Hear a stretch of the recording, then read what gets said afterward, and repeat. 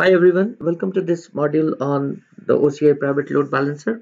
In the previous module, we have talked about the public load balancer and seen some of uh, and seen it in action and some of its key uh, components in action. Let me quickly jump to the console and show you one thing which we couldn't complete in the previous uh, module, the demo uh, where we demoed the public load balancer, and that's around health check. So uh, as we said, the health check has a three minute granularity and when I was doing the demo I ended uh, at the public load balancer IP I showed the IP uh, but the health check was unknown at that time. So if you see here you can see the overall health is okay. And the backend set uh, backend sets health is okay. Uh, and then the I can also see the health check for each of my uh, backends. So if I click on my backend set here uh, I can see that the health is okay. And if I click here I can see uh, the health is okay shows here. And if I click on the backends I can see the health okay for each of these uh, backends right? Uh, and if I can uh, if I if I uh, hover over there uh, I can see that some of these you know some of these details where the health check is running on two instances. So I can see some more more details here right? Now a couple of things I could do here which again I didn't show in the previous demo is if I pick up a particular backend uh, I have several actions I can take. Uh, of course, I can change the ports, etc. The weight um, uh, which I which I give it's a weighted round robin if I want to change that. Uh, but I can also do things like uh, drain the state. And if I click here, it basically draining means that I disable new connections. The load balancer stops forwarding new TCP connections and new non-sticky HTTP requests to the backend server. So this is good for scenarios where I want to do maintenance. I want to take out a backend set out of the rotation uh, of the backends I have, right? So I could just click through here and save the changes, right? I could do that. Uh, I could also come in here and I could edit my offline state. Uh, and basically this disables ingress traffic altogether. So the load balancer forwards no ingress traffic, no incoming traffic uh, to the backend server. So I could do that as well. Uh, and the third one is edit my backup state. So in this case, I can set my server as a backup unit and the load balancer forwards ingress traffic to the backend server only when all other backend servers not marked as backup fail the health check policy. So this is good for disaster recovery scenarios. If I have scenarios around that, I could actually uh, use uh, this this option, right?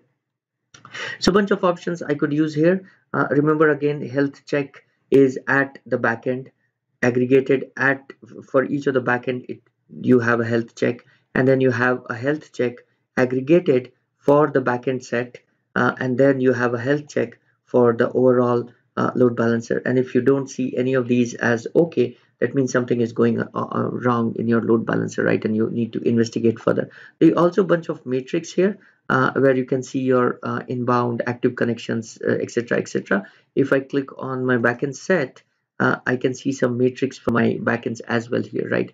So you can see unhealthy backends uh, how many backend uh, server I have. You can see the both backend servers are here. There is nothing which is unhealthy, uh, etc. Right. So I can get some more details if I want to investigate further. So anyways, let me go back to my uh, slides and talk uh, more about the private load balancer. So so uh, private load balancer is assigned a private IP address from the subnet hosting the load balancer. Makes sense because this is uh, we are talking about a private load balancer so of course it will have a private IP and not a public IP.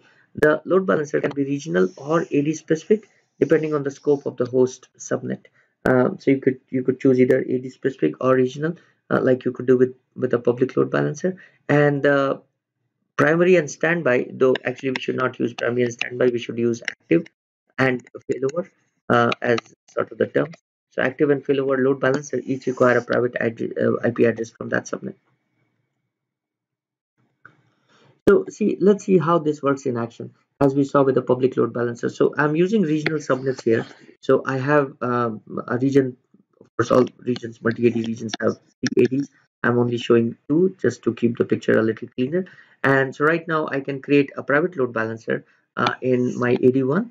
Uh, of course, it's a regional subnet. So failover gets created in AD2 and like we said this is a private load balancer so it gets a private ip address and then like the public load balancer you could send the traffic to the backends whichever ads they exist now in case of uh, AD specific subnets, there is there is a change here where my active and my failover are both in the same AD, right? Uh, so uh, yes, we still have two copies, but they're both running in the same AD. And in this case, my subnet is AD specific subnet here. It's not a regional uh, subnet uh, anymore. It's AD specific. So hopefully now you can see why we adv advise you to create uh, sort of this regional subnet so we can create the failover copy right here, right in another AD. If, you know, if you have regional subnet, uh, if you have AD specific subnet, uh, we uh, with with at least the private load balancer, the failover copy gets created right here in the same AD. Uh, so with that, uh, hopefully this give this give uh, give you a quick overview of the private load balancer. I don't have a demo to show private load balancer in action. you why would you use a private load balancer? Well, if you have an application where you are talking, you have a web layer, you have uh, let's say a middle tier and you have a backend tier you could have a load balancer sitting between your uh, middle tier and backend tier right you could have a private load balancer uh, and you could have a public load balancer sitting at your web tier taking the the traffic from from from incoming traffic sending it to your web uh, web servers and the web server could talk to the middle tier using a private load balancer just if you want HA and distribute the traffic and you could have uh, a private load balancer between your middle tier and your backend set uh, uh and your um, backend tier. Uh, so hopefully this this gave you a quick overview of private load balancer. Uh, thank you for watching this lecture lecture series on OCI load balancing service. Thank you.